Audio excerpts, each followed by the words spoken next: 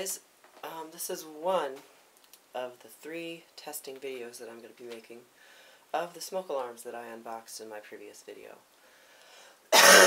now I've got a little bit of a cold, so that's why I sound funny, and I've got a sore throat, so I'm probably going to be coughing a lot. Um, anyway, this is the very first smoke detector I unboxed. This is the Pyrotector, the Heathkit made by Pyrotector, um, 30-77L. Um, and this one is a photoelectric smoke detector. Uh, let me just get, hang on, get down. So, um, it's got, as you can see, it's rectangular, like, a they, they, there were a lot of smoke alarm models back in the day that were rectangular, like, um, the GEs and the smoke guards and Westclox, you know, other smoke alarms like that. Um, and this right here is the LED, and it flashes once every 8 or so seconds. I don't know if it's going to flash. Yep, there it is, it just flashed. Um, so it flashes every 8 or 9 seconds. I think I timed it. And then this is, of course, the horn output hole and the um, test button right here. And, of course, on the side you'll see there are two vents on the bottom, three vents on the side, and then, of course, two and three again on the back is this is the mounting bracket right here and it slides off. I might need another hand. As you can see it slides off. There's the back of the mounting bracket to reveal the labeling and the battery. And this screen right here is the smoke inlet. It's basically there just to prevent any dust or any foreign objects from getting into the sensor chamber and accidentally triggering a false alarm. So right up here is the battery. Uh, as you can see, it's just a regular, just takes a regular 9 volt. Um, I'm going to turn it around here. Just a regular 9 volt I've got in there right now. Um, and here's the labeling, as you can see.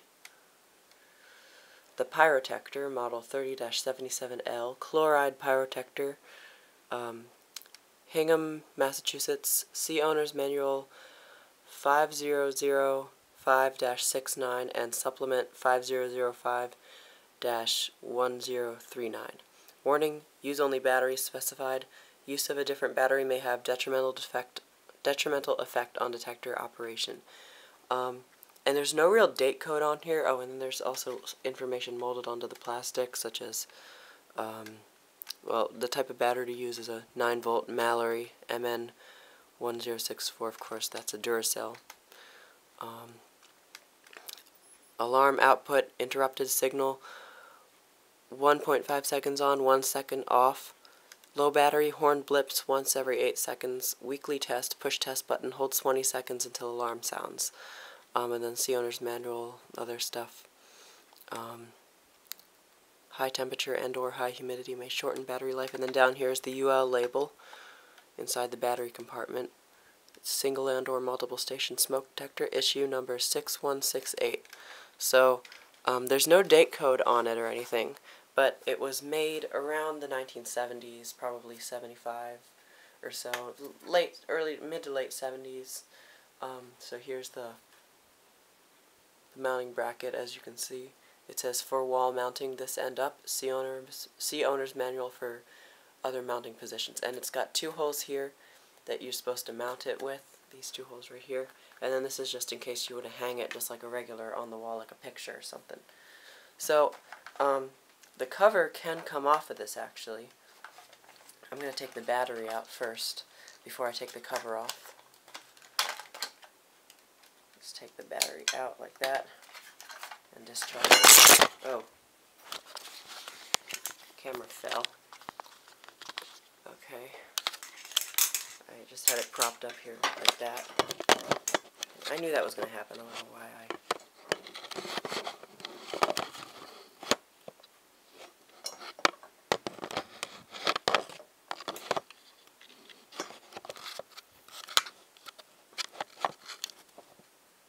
There. Hopefully that won't fall again. So um, the cover can come off. If I get a screwdriver, I'll just use I'll just use my pocket knife because I lost my screwdriver again. I lose that thing like three times every day. I don't know why. So, oh, no, don't fall, please. Okay, so the cover can come off if you, there's four clips on the, um, the detector base that hold the cover in place. Um, if you take a screwdriver and just loosen those four clips, you can easily remove the cover. And I guess this is what you're supposed to do if you if you need to clean it. Because there are slotted indentations there so that you can get a screwdriver in there. And now the cover lifts off and here's the inside. Um, you can see the LED right there. Of course there's the horn. This one has the the star horn, the same one that was used in the GEs.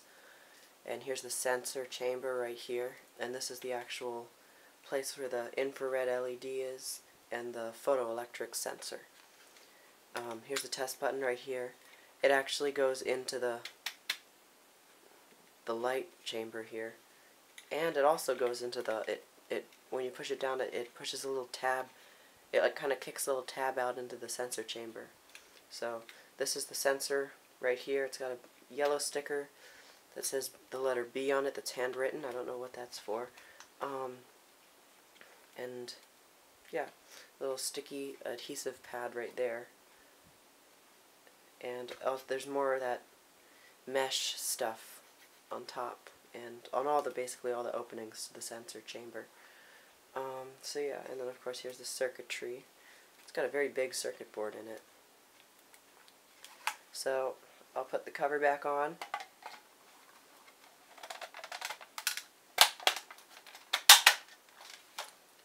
And the battery.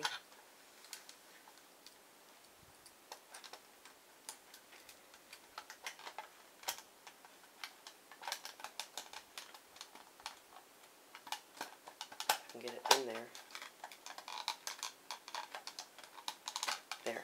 And then the mounting bracket just slides on, other way, slides on, oh, oh other, other way.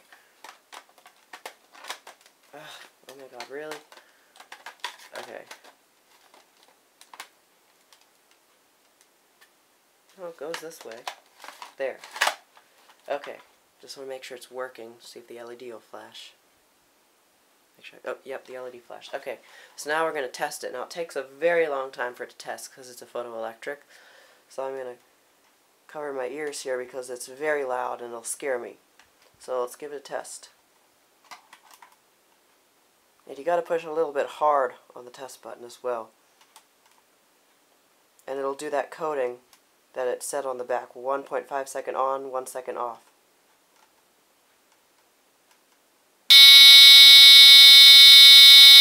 There it goes.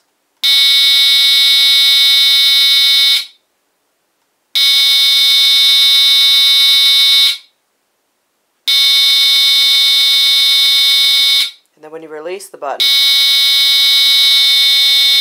it'll do one very long blast.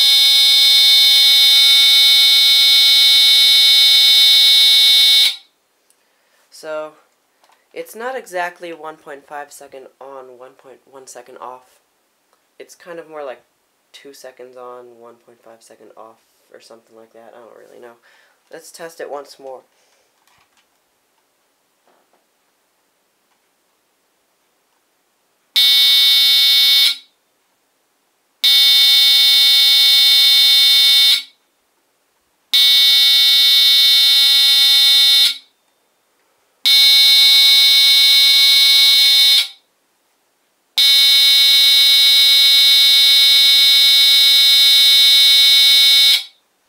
Alright, that's the Pyrotector. Well, Heathkit made by Pyrotector. Uh, 30-77L. And also, one other thing, the horn, the, the, the fact that this has a mechanical horn, yet makes a pulsating tone, has a pulsating pattern to it, it, is very rare. It's very uncommon for a smoke detector with a mechanical horn to have a pulsing to it.